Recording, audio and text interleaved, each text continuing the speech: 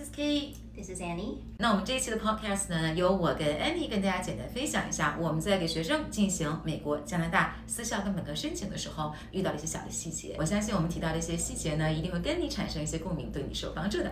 OK，那咱们今天就来聊一下，当孩子在九十年级的成绩不是特别好，在七十分出头的样子，那么他想申请加拿大顶尖的啊，比如说多大的 Rotman 商学院、Western 的 Ivy 以及 Queens 的 Smith，成功的可能性是多少？这就让我想到他们刚找到我们的时候，实际上是在孩子十年级刚结束的暑假。对。然后那个时候呢，家长和孩子实际上是很焦虑的，也是很 frustrated 的一个状态。家长当时甚至在跟我们交流的时候，有问说，呃，能不能帮孩子申请到本科？这几乎是他当时最低的一个诉求。对。但实际上，我们给学生申请的，整体是非常 optimistic，因为如果我们连这个信息都没有的话，家长可能会更加 frustrated。更何况当时学生是结束了十年级，还有十一、十二年级两年，这对于申请加本来讲是更重要的成绩的两年，对吧？没错。所以其实这个学生当时我们做的第一件事就是要分析为什么成绩低。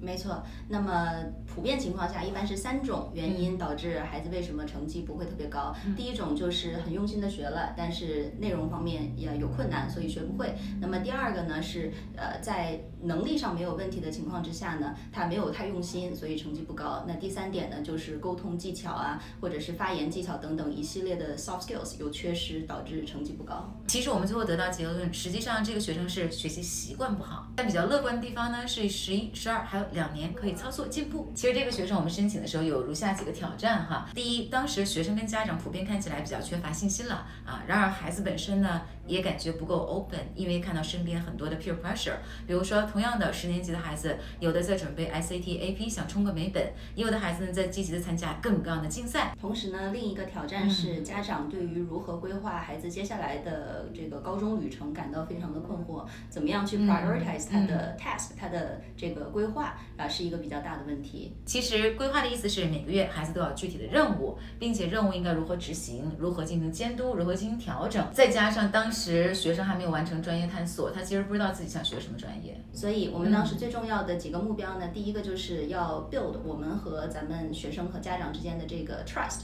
那么第二点呢是帮助孩子重建他的信心。第三点呢是重新树立我们的呃可可执行的并且可达到的目标。那最后一点呢就是提供。相匹配的资源来帮助学生啊尽快的成长，尽快的提高。所以在这过程中，我们像 coach 一样提供方法、资源、检测效果。那么在通过我们和孩子以及家长的不断的沟通和交流当中呢，我们发现孩子是一个非常善于观察，对，然后是一个 people person，很喜欢和人打交道。那么他的口头和笔头的这个表达能力也是非常强的。那么基于这些客观存在的条件，那么我们啊给他列列举了在。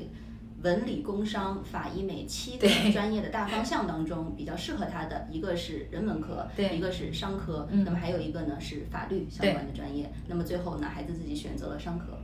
对，那最后我们剩下的就是图书学生亮点匹配相应的活动。最终孩子的 offer 是大满贯，嗯，Ivy、Smith 跟 Rotman 都拿到了。你还记得他当时选的哪个学校吗？最终我记得他选择的应该是 Western 的 Ivy。嗯哼。